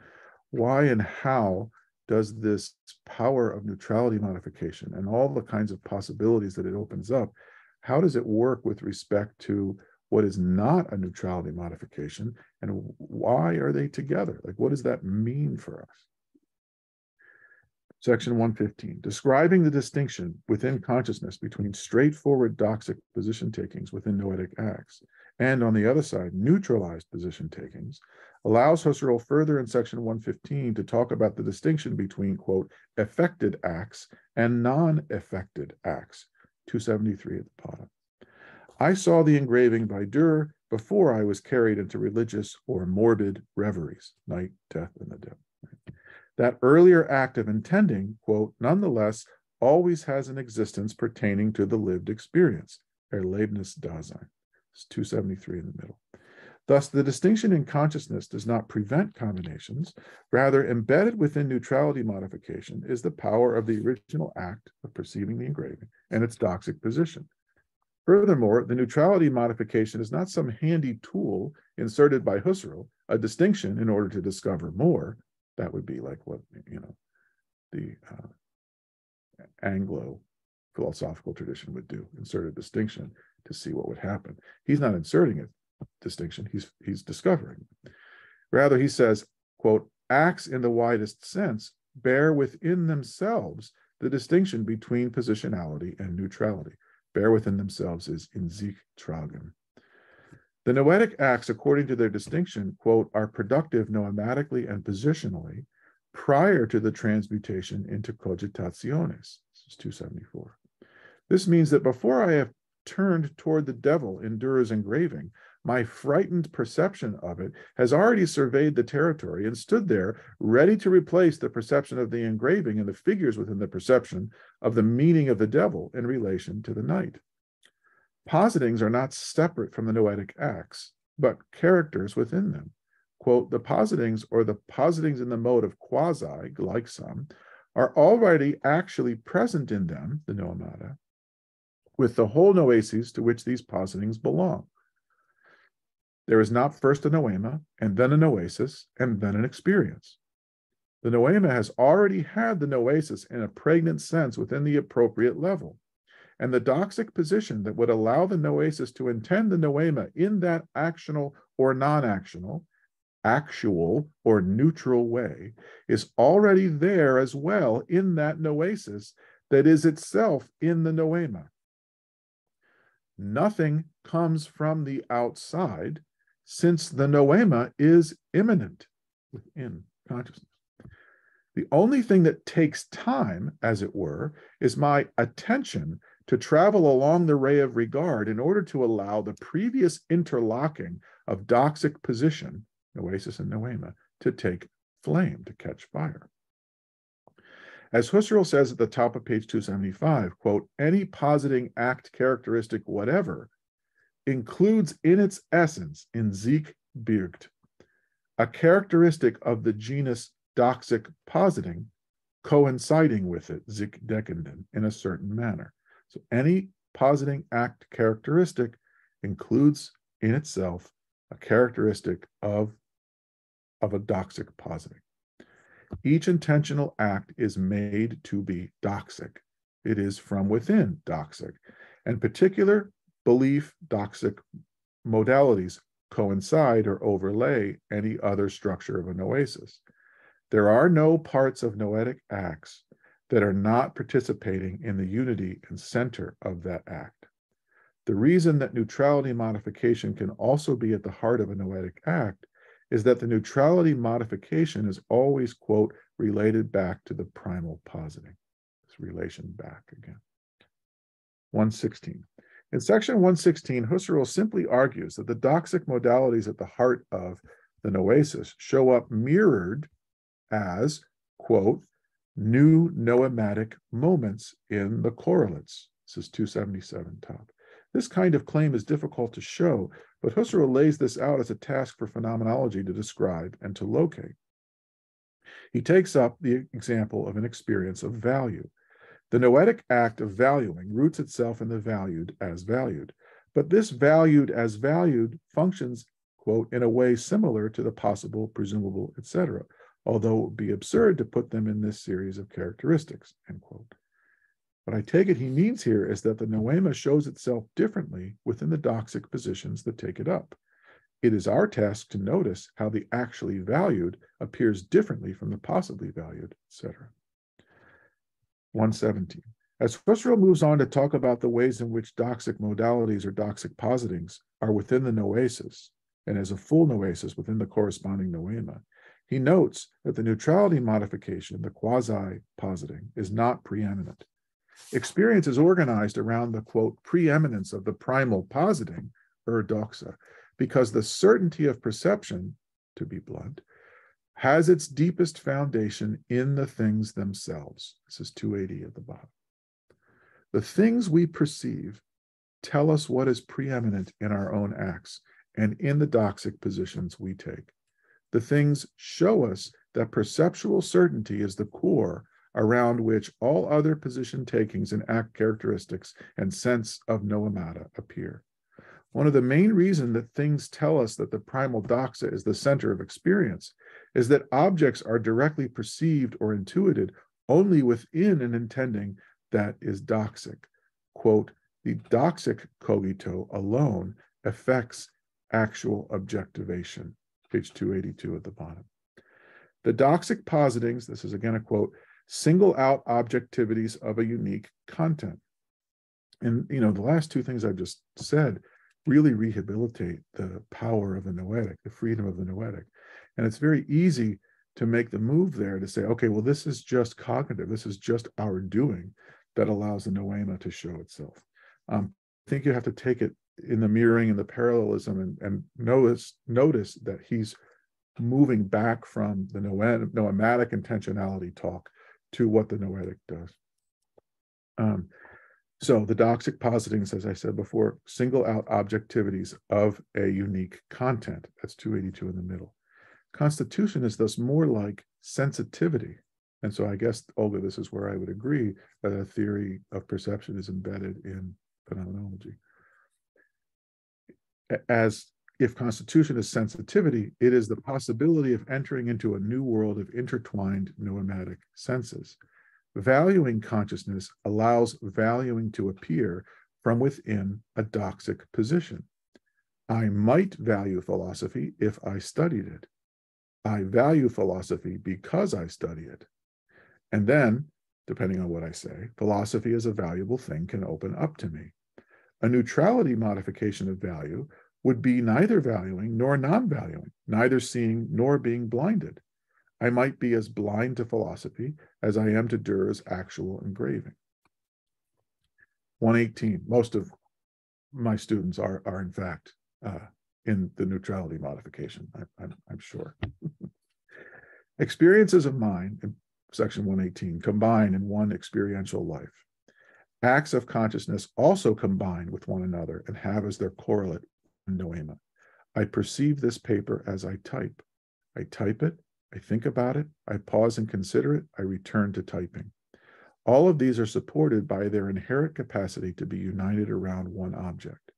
This is because all of my acts of consciousness and all of their objects are together essentially. This is on 283 at the bottom. Quote, no matter how alien, fremde, in essence, lived experiences can be with respect to one another, they are nonetheless constituted together as one temporal stream, as members in one phenomenological time. My time consciousness, my temporality, my life. This is what brings what is alien together. Even more so, this is what stamps each of my experiences with echoes of the other and allows me to have my own style, if you will, as I leap from writing the paper to cooking dinner to listening to our children. You know, you want to talk about how the constancy of the object, the constancy of the subject is just as much a, a problem, right?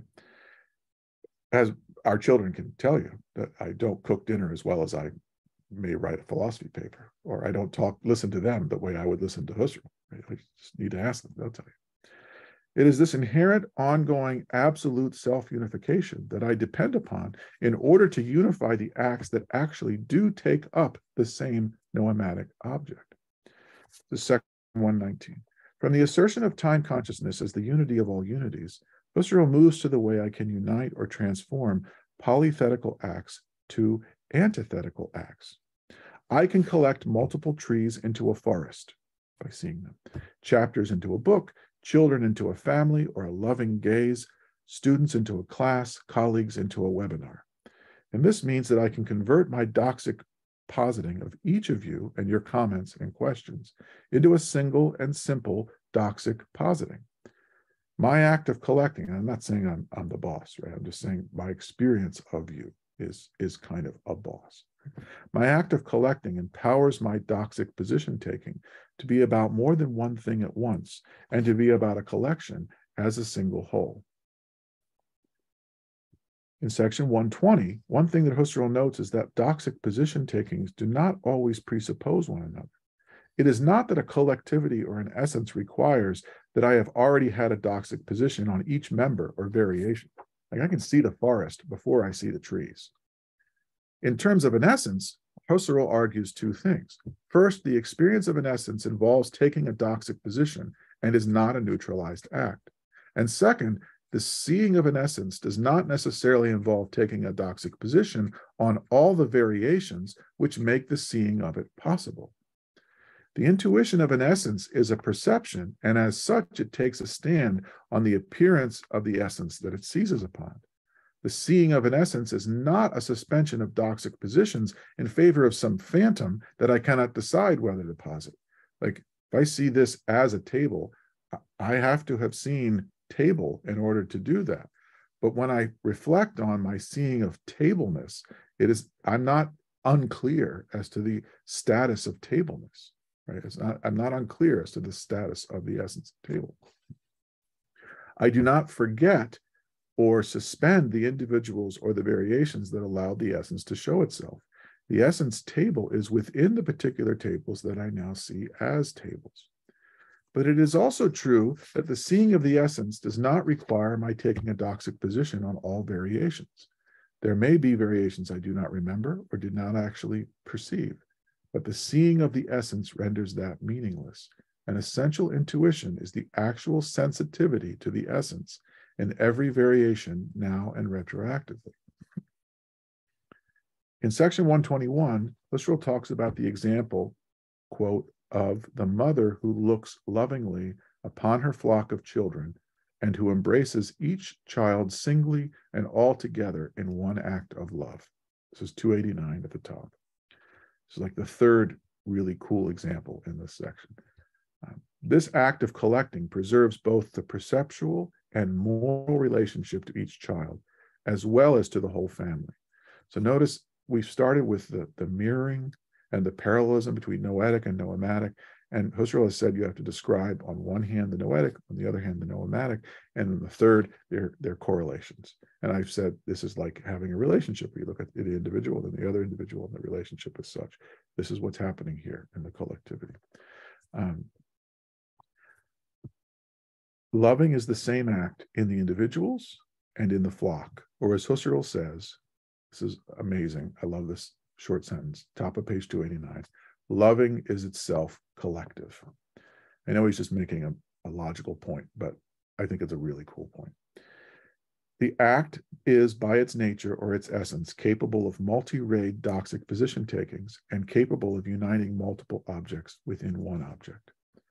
Loving is not apart from, quote, the objectivating and perhaps the plural judging underlying it. This is again at the top of 289. Loving is rather thoroughly enmeshed with the act of collecting the children as one group, as one's own. This is at the bottom of 289. Quote, the flock of children loved is, as love object, a collectivum. That signifies not only a material collectivum, and in addition a love, but a love collectivum.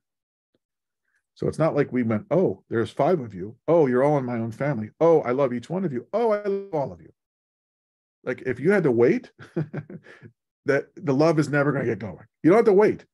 Loving is immediately collective. It doesn't like piggyback on some other thing. The collective logical act is within the loving act. So the layers of the noetic interpenetrate one another. To lo- loving is accorded the power of collecting and of judging. They are the same act in the act of loving. Thus, the noetic embeds itself into its own higher levels the way that the noematic core embeds itself into its higher levels. This is 122. Synthetic life and consciousness is possible, Husserl says in section 122, because the multiple rays of regard, the having together of different objects or experiences, relate to the ego as to their, quote, primal source of generations. If the primal doxa is what neutrality modification um, relates back to. If perception is what other modes of intending relate back to, it seems clear here that the ego is what syntheses relate back to. The ego and its spontaneity, in other words, is what allows, quote, a creative beginning for each act. That's 291 at the bottom. It is the ego that holds together its own acts in its internal temporality and thus allows for collection to show itself as a possibility that enables love of the mother of multiple children or of seeing wholes as wholes, W H O L E S. But the ego is supported in all of this by the noema.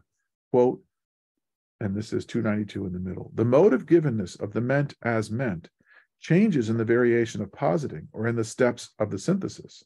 And one can show these changes in the particular noematic content and make them salient in it as a stratum proper. The task of phenomenology then is to show how the ego and the noema support one another. On the side of the mother's noema, the identical flock of children as her own. On the side of the mother, the act of loving as itself collective or, quote, the whole form of articulation according to positing and synthesizing. The noetic mode of actionality, attention, doxic position, and form of articulation correspond to modes of givenness and characteristics in the noema and to an identical sense. In the neutrality modification, however, the ego will, quote, withdraw, zurückziehen. and release at last the positional correlate from its grip. I no longer see the Dürer engraving, and my consciousness toward it as engraving is withdrawn. But in releasing that intending, I still maintain it, as I am still in some sense in front of it. But what is now not in grip allows me to advert to another theme, perhaps the coming of my own death as the night. Um, this notion of a release shows up here, and it's something that Heidegger and other people will do a lot with. This this possibility of release is also, I think, what um, might give us the the freedom of play that Olga was, I think, implying in her question about uh, uh Eastern practice and what I think I was trying to talk about with respect to my friend who was having some difficulty. 124. As Husserl ends the chapter, he turns again to what faithful expression of the relationship of noesis and noema might mean. Now he embeds the notion of expression within logical signification. It is not just the act of speaking or writing or even thinking. The holding together of the object within a form of articulation is itself expression. This is 295 in the middle.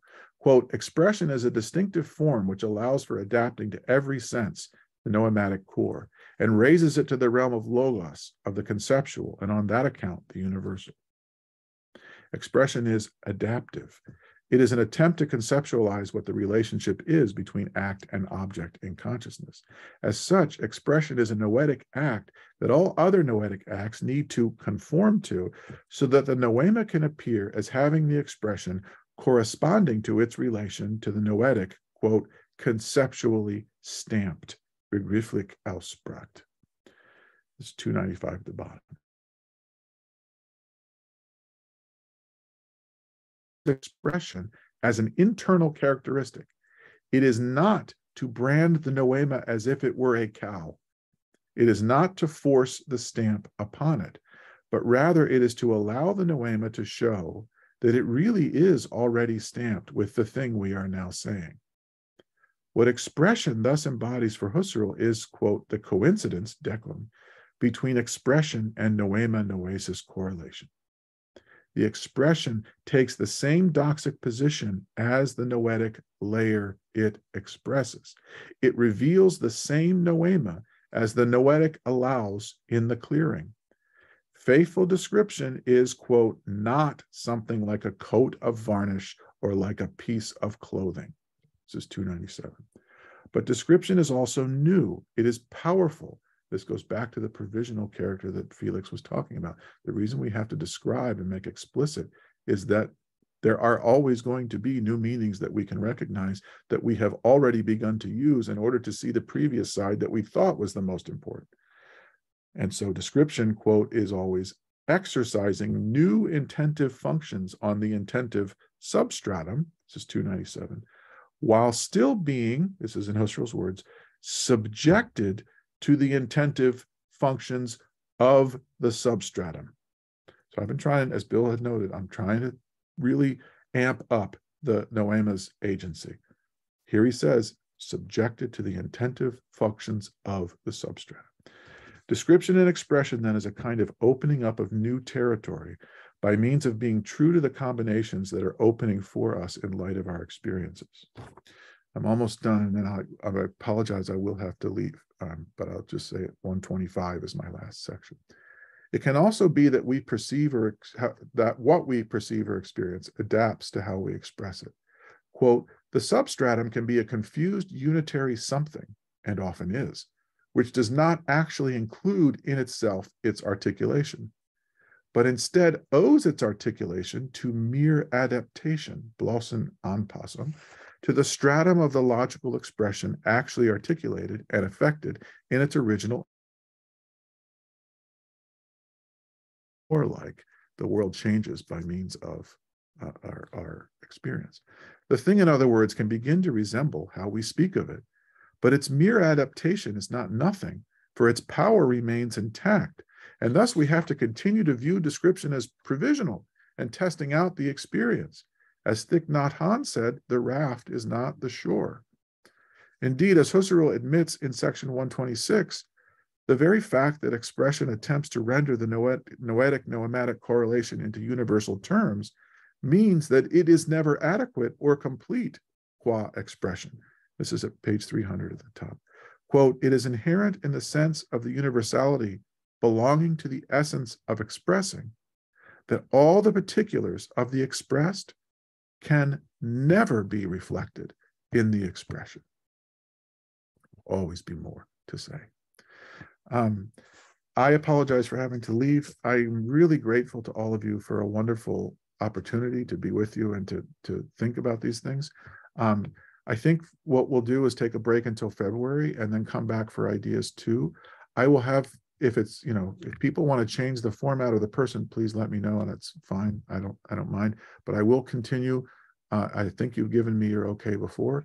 What I'll do is suggest one, between one and five sections of the final part of ideas one to read over. Ideas two for February. I think Bill made a comment that, you know, this is all leading up to ideas two. I do think that you'll find that to be true. Um, and I'm, I'm very hopeful that we'll have uh, continued participation from all of you. Again, to all of you, I'm very, very grateful. This has really charged me, uh, energized me. So thank you.